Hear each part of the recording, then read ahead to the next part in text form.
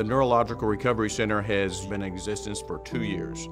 My son had a anoxic brain injury and we just needed good rehabilitation equipment. So our original plan was to just have a nice little physical therapy place that, you know, maybe had, you know, one shoulder machine, maybe a Erigo lokomat, and maybe one therapist, and just let Spencer and a handful of others continue to uh, improve.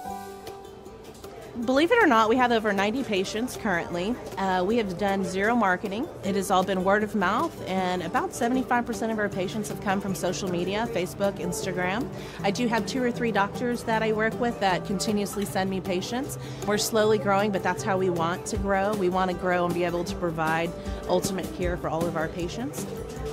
I find that the robotic gait systems really help us create freedom with our hands. It allows the patients to have continuous repetitive motion, um, which helps build neuroplasticity in the brain. It gets them weight bearing, it decreases tone, it increases circulation, promotes healing, but it also frees up my hands and my body to work on head control now, posture, stability, because the machine is doing most of the heavy lifting. It allows me, even at seven months pregnant, to work individually with a patient one on one without the assistance of another therapist. The Neurological Recovery Center has used an efficiency of one physical therapist training two robotic patients at one time. We're beginning to put our Lokomat side by side to be able to see more patients with a, a little lighter staff. When I came here, I couldn't do a push up. I didn't have my triceps back. I was actually considered a C5-6 and now I'm considered a C7 because my triceps came back. I have more balance than I ever did before, so I've become a lot stronger, which is great. If they didn't have this high-tech stuff, I definitely would not be where I am.